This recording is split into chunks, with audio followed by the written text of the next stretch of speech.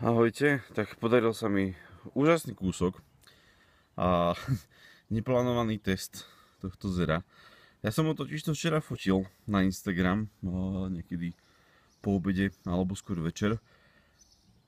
Potom mi zvonil telefón a nôž zostal na strome celú noc. A teraz ráno som hľadal úplne všetko, kde som vedel, že by mohol nejako byť V noci pršalo samozrejme. Ale nevyzerá, že by mu niečo bolo.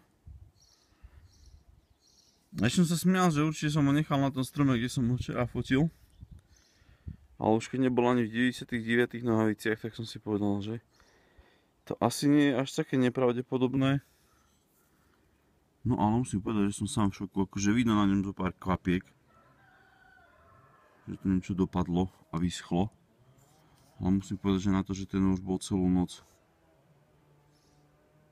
vonku, tak som prekvapený naozaj, že tu nič. Ale nič nie je. Takže taký malý neplánovaný test. Ahojte.